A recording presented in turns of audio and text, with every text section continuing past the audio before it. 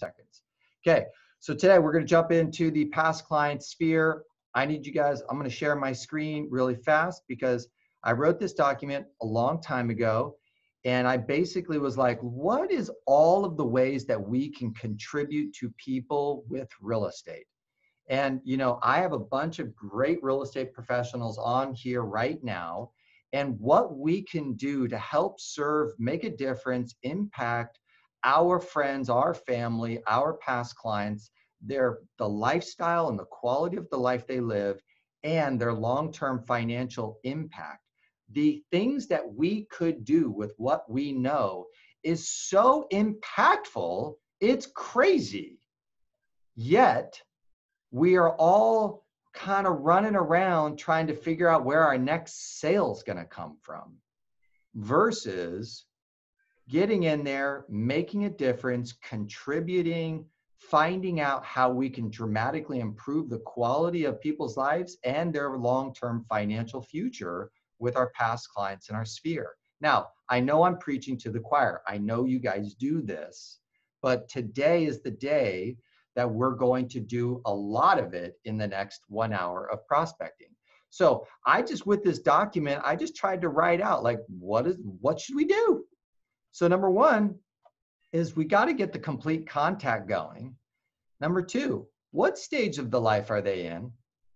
Okay. See, demographics is so valuable, right? Because at every stage of a person's life, there's a different real estate transaction.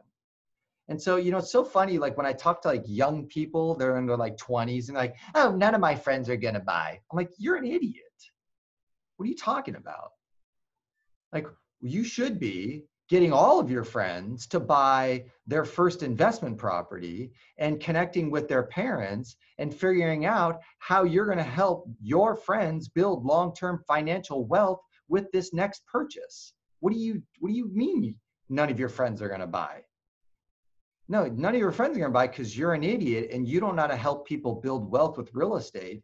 And every single one of your friends should be building wealth with you. And it starts with your ability to be able to help them at that stage of life this is the next best this is the, the right real estate transaction that you should be considering right i'm so pissed off that my family didn't say to me patrick let's go get you a $300000 two bedroom you're going to rent out one room you're going to live in that for the next three years and you need to learn real estate. You need to manage your money.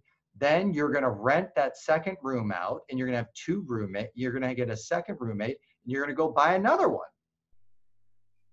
Are you guys pissed off that no no realtor, no friend, no family member told you guys what to do about this stuff?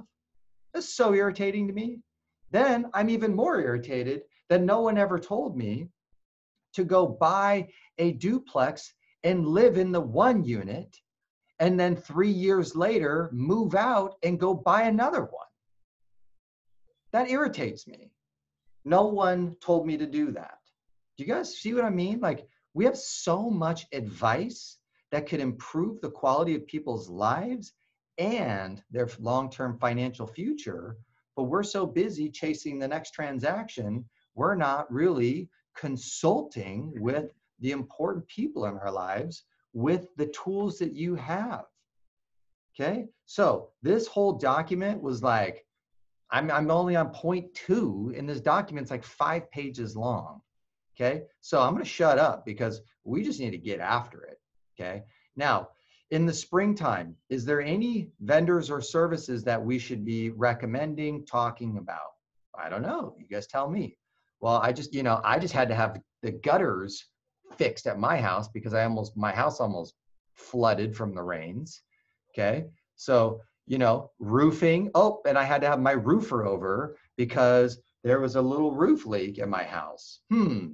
Yeah, I shouldn't probably talk to any of my friends and family because we just had super amounts of rain in San Diego and I had two issues and I had two awesome people come over and fix and protect my house from future damage Now I shouldn't, I shouldn't tell anyone that they should, you know, I shouldn't reach out to everybody and say, hey, is everything cool with you guys? How's your house? How did you deal with the rain? Do you guys follow me?